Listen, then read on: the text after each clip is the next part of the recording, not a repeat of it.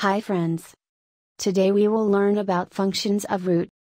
So let's start. Now let's learn the function of roots in detail.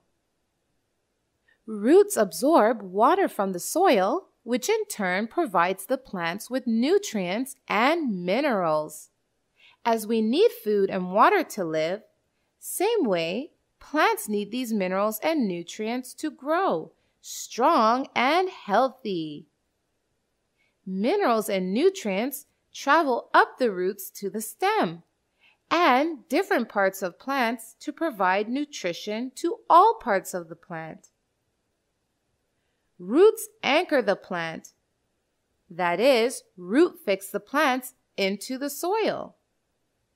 Roots also hold soil particles together that prevents the soil from being washed away with rain or storm.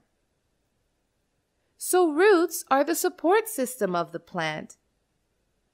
Some roots also store food in them, like carrots, radish, and turnips, are tap roots that we eat.